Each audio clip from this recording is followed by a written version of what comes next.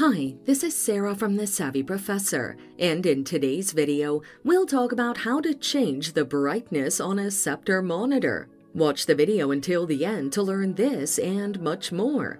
Here is a step-by-step process on how to do this. First, locate and press the menu button on your monitor to access the on-screen display. Then use the arrow buttons to navigate to the picture menu. Next, press the menu button to select the picture menu and access the brightness option.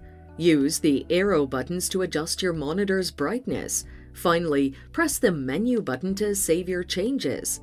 Some monitors have a quick start option. To use this, press the menu button and navigate to the quick start option. Choose the preset option and change it to user. Switch off the DCR option and adjust your Sceptre monitor's brightness. And there you have it. Follow these steps to change the brightness on a Sceptre monitor. Thanks for watching. Till next time.